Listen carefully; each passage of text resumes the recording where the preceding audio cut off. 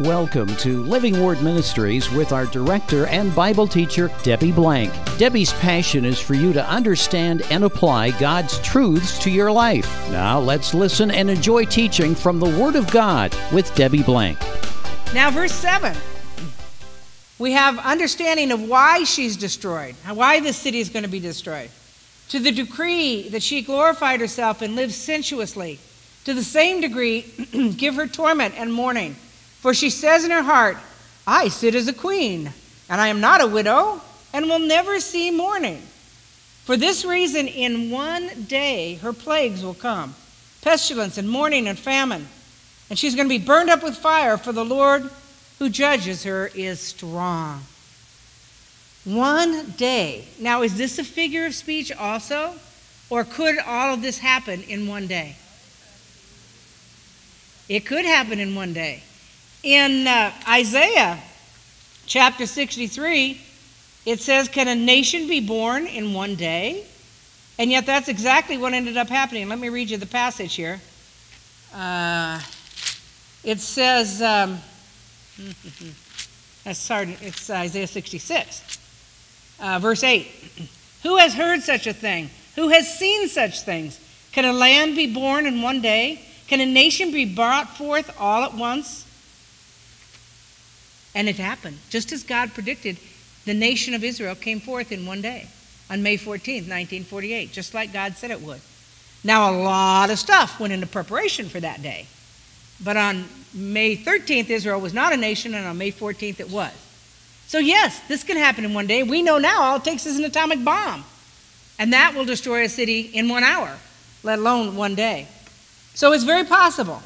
We don't know, however, if this is figurative or if it's literal as to the timing, but it is very possible that in one hour her judgment will come. Good point there, and she was talking about earthquakes.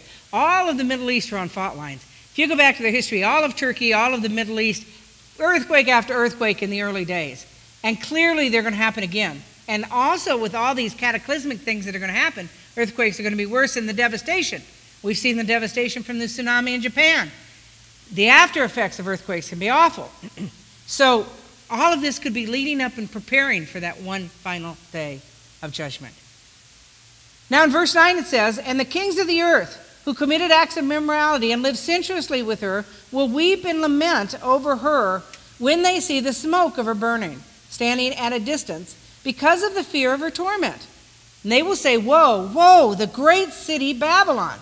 Now, if we had any question, this makes it clear. The great city, Babylon. We are talking about a city. The strong city. For in an hour your judgment has come. Now, this is interesting. I bolded in the PowerPoint because we're going to have three different groups of people that are going to say pretty much the same thing. They're going to stand at a distance, they're going to watch her destruction. They're going to say, Woe, woe is the city of Babylon. But they're all people who have committed acts of immorality with her. All people who've been involved in their wealth and their produce with the woman, with the harlot, with the city. and it says here, the kings of the earth. Now in verse 11, it lists different, a different group of people. What group of people is that? The merchants of the earth. They shall weep and mourn over her because no one buys their cargoes anymore. And then it goes on for the next several verses to list her cargo.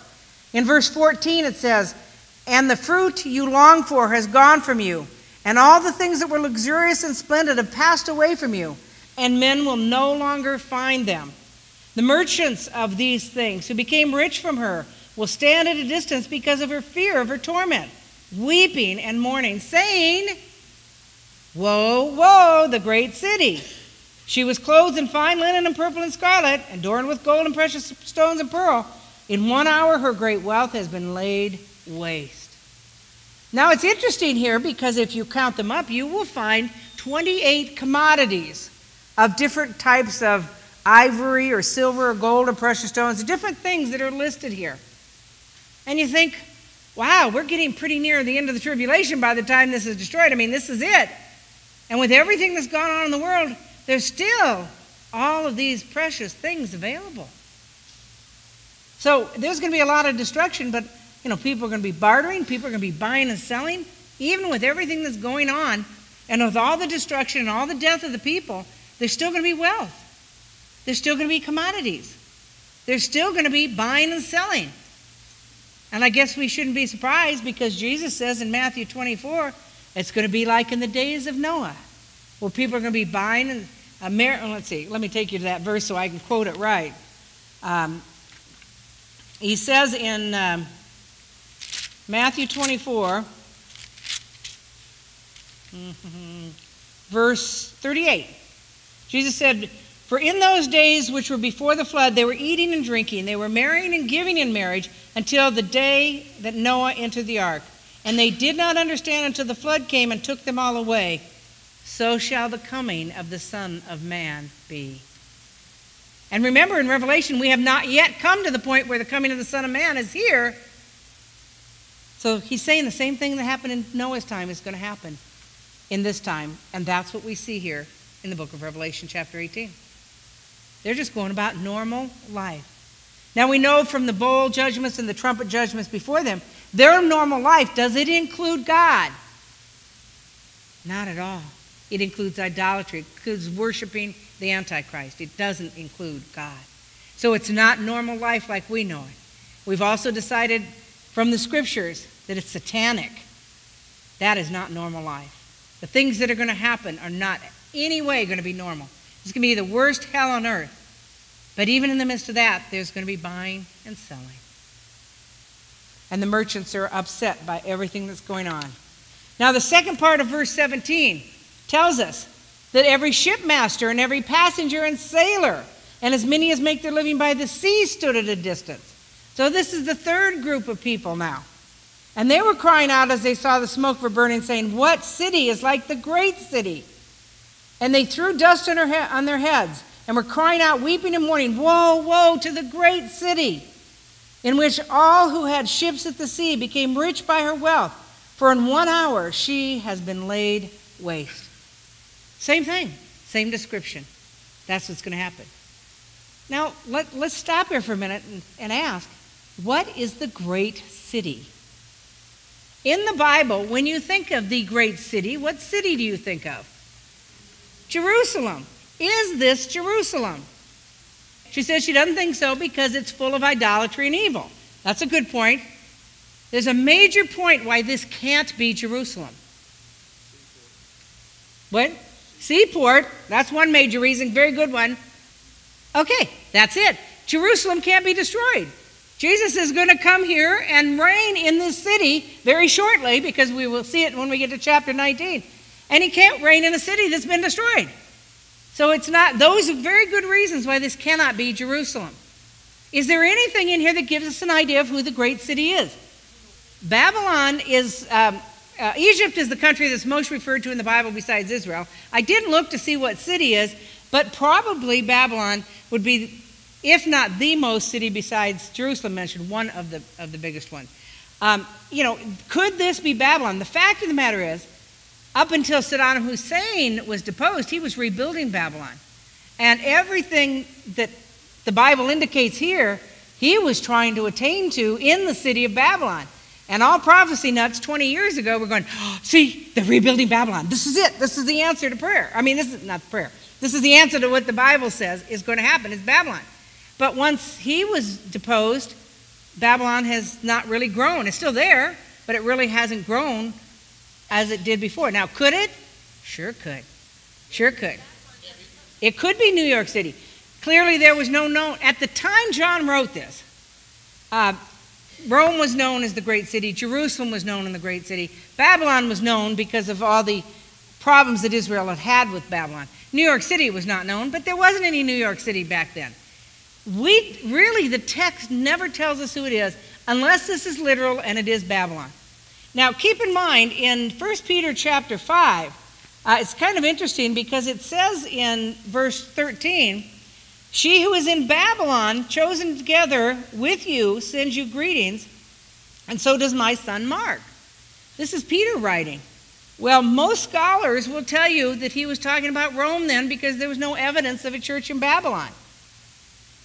But on the other hand, I've read evidence that there was a church in Babylon, and you could see that in Acts chapter 2 at the beginning of the church when Mesopotamia, people from Mesopotamia, were in Jerusalem when the Holy Spirit came upon them. So they would just simply take it back to Babylon. So, you know, people say that Babylon is Rome because of 1 Peter chapter 5. But not necessarily, folks. Let's not get caught up with what people say. Let's get caught up with what Scripture says. All we know is it's a great city. It's going to be a religious center and a political center. It could be Brussels, which is the capital of Europe right now, or the European Union.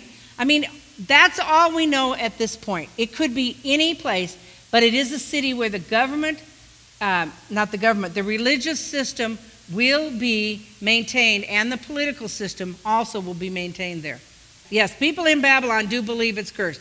So we really don't know from the text. If it's literal, then God's going to rebuild the city of Babylon, and that could happen. We saw Saddam Hussein working on it. It could happen in a matter of no time. If it's not literal, it's referring to a powerful religious and governmental city that could be Istanbul. You know, Istanbul was the capital of the Eastern Roman Empire uh, when it was Constantinople. That's on the sea. It could be that, could be anything. The point is, let's not get worried about what we don't know because this is still a mystery. Let's just focus on what we do know. We do know we have a religious system and we do know it's tied into the city. And the religious system is going to be destroyed and the city is going to be destroyed. And when that happens in verse 20, what, ha- what do we see happening after that city is destroyed? It says, Rejoice over her, O heaven, and you saints and apostles and prophets, because God has pronounced judgment for you against her. So, big party. Yeah, I like that. Big party in heaven. Well, does that seem right that they should be rejoicing over people dying? Yes, when the people have turned away from God have blatantly, you know, said to God, we don't want anything to do with you and have worshiped another God, you bet it's okay. And this is what they've been waiting for. We've read a couple of times in Revelation when the saints said, How long, O God, will you wait to avenge our blood? And now he's doing it. He's avenging the blood of the saints. And you know what? It's okay. It's right. If you've ever spanked your child, not fun to do, is it? But they need it in order to learn what's right. But if they won't learn, there's consequences down the road that they will have to suffer. These people are suffering the consequences, the, the thumos orge, the fierce wrath of God, because they have turned away from God. They haven't just ignored him, they've chosen to take the mark of the beast and worship another God. And so, of course, there's rejoicing in heaven. I'll be rejoicing with them because I'm, I'm looking forward to the time when God conquers his enemies and he comes to rule. And that's what's going to happen.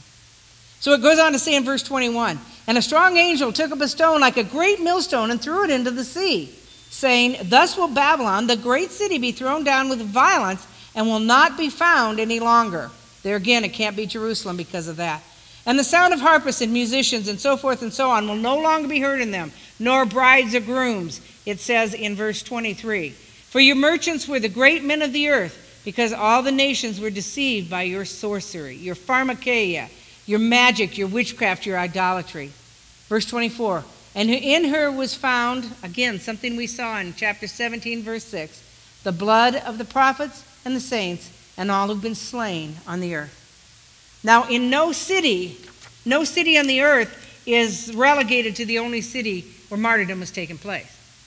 So, in her, in the city, but also in the religious system, all of the, we see the death of the martyrs. And God has now avenged the blood of the martyrs who have given their lives for Jesus Christ.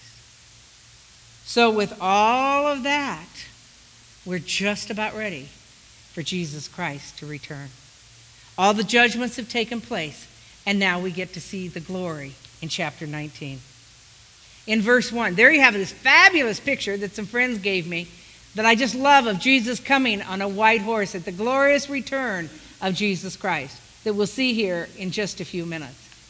But before we see that, we see a big party going on in heaven. In verse 1, after these things, there's a time sequence after we've seen the seal, trumpet, judgments of the bowl judgments take place, after we've understood chapter 17 and 18 about the intricacies of these last judgments, after these things, I heard, as it were, a loud voice of a great multitude in heaven, saying, What? Hallelujah. What does hallelujah mean? Praise the Lord. Do you know how many times hallelujah is in the New Testament? Four. And they're all in this chapter. They're all in this chapter. You do not see the phrase hallelujah, praise the Lord anywhere in the New Testament outside of this chapter. Hallelujah, praise the Lord. Salvation and glory and power belong to our God because his judgments are true and righteous. Now, this is an important phrase, folks. People aren't rejoicing that people have died, we never want to rejoice in that. They're rejoicing because God's judgments are true and they're righteous. God will only do the right thing in order that sin will be dealt with, in order that the righteousness of God for his hatred of sin will be recognized. He will only do what's true and right. So we have to remember that. And so we're rejoicing at God being recognized, God conquering evil, and God being recognized soon as the king. And I say we, right here so far it just says the great multitude that are in heaven. And then it goes on in verse 2 and it says, For he has judged the great harlot who is corrupting the earth with their immorality, and he has avenged the blood of his bondservants on her. And a second time they said, Praise the Lord, hallelujah. Her smoke rises up how long? Forever and ever. It's like saying that's it. That's the end of idolatry. At least there, it's the end of idolatry. Verse 4. And then we see two different groups of people. Who are they in verse 4? The 24 elders and four living creatures. When did we see them last? Or I won't say last. When did we see them first? In Revelations 4 and 5, when we saw a description when John was in heaven. And he was standing before the throne of God and he was standing with Jesus. And we saw those 24 elders and the four living creatures. So we see them in heaven along with the great multitude. And they fell down and worshiped God who sits on the throne. And they said, Amen and Hallelujah. Amen is so be it. Verily, the end. Hallelujah. It's all been done. It's all done. Now we got a little bit more to go that we're going to hear about. But basically, it's done. All the judgments are over and God, Jesus is going to come reign. Verse 5 And a voice from the throne saying, Give praise to our God, all you his bondservants, you who fear him, the small and the great. And I heard, as it were, the voice of whom? A great multitude. We saw them in verse 1. And as the sound of many waters, and as the sound of mighty peals of thunder, saying, Hallelujah! For the Lord our God, the Almighty, reigns. Wow. We're in Revelation chapter 19, verse 6. We've been waiting to read that verse since Genesis 3 because Satan has been reigning. But now the Lord our God, the Almighty, reigns. Wow. Finally, God will set up his kingdom here on earth as the King of Kings and the Lord of Lords. Finally, how patient is our God? 6,000 years at least. My calculations, which are my calculations, uh, show Adam and Eve at being, I think, the year uh, 4042 BC. Might be 4012, I can't remember. Anyway, a little over 4,000 years. And now we're in the year 2013. So you've got, give or take, you know, 4,200, 4,300 years. Excuse me, 6,200, 6,300 years that God has been patient, waiting. Because as I've quoted many times before, it's not his will that any should perish, but that all should come to the knowledge of repentance. And he's given everybody a chance. But now we've come to the time when everybody, their decision's been made one way or another.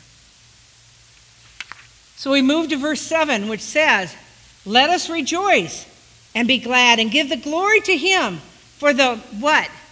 Marriage of the Lamb has come. Now, where are they right now?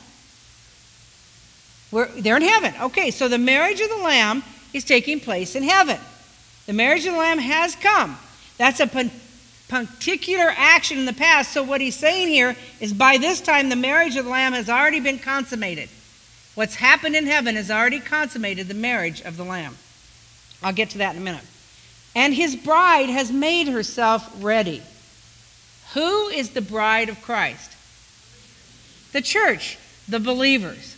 Okay, so at this point, before Jesus returns to earth, the believers are already in heaven. They've already gone through the marriage of the Lamb. What is the marriage of the Lamb? Well, you know what? I won't even ask you that. Let's go on and read, and we'll see what it says. And it was given to her, who's the her? The bride, to clothe herself in fine linen.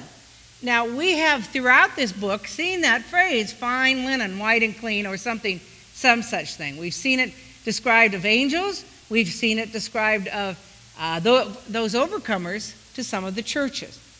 But now we see it described for the bride, the church of Jesus Christ, the believers. There is no denomination of Jesus Christ. There's an ecclesia, called out ones who are followers of Jesus Christ. That's the church. It can, it can be a few of every denomination or a whole bunch of all the denominations that believe in Jesus Christ. We don't know. Only God knows our hearts. But it's not a particular church that is the bride of Christ. It's the people who have believed in Jesus Christ. Now it tells us that the, it tells us at the end of verse 8 what that fine linen is that we are clothed with. And what is it? The righteous acts of the saints. What does that mean? What are righteous acts of the saints? God is the one who gives us the power. Okay, the righteous acts of the saints are things we do in the power of Jesus Christ for his kingdom. Now, we do a lot of good things for Jesus Christ. I mean, we come to church on Sunday morning, that's a good thing. We might teach Sunday school. We might teach a class like this. We might uh, share the gospel with our friends. But if, if what we do, even if it's a good thing and even if it looks like it's for the kingdom of God, if what we do is our own power, there's no reward in that. The reward is when we are empowered by God to do His work for His purpose. And I, I mean, I will honestly tell you in my 35 years of teaching that I have stood up in front of you, not in front of you, I hope, this year. But in the past, I have stood up before under my own power. Because you know what? I didn't have time, or I was mad at God, or I was mad at my husband, or, you know, something was going on, and I had to teach, so I got up and I taught. And I did it in my own power. And I just don't believe. Now, God may have worked in the crowd, even despite my sin, but the fact is, those kinds of things, I don't think there's any reward for it because that was my own power. Instead, the righteous acts of the saints are the things that we do in God's power for his kingdom. Turn to Second Chronicle or Second Corinthians 5:10.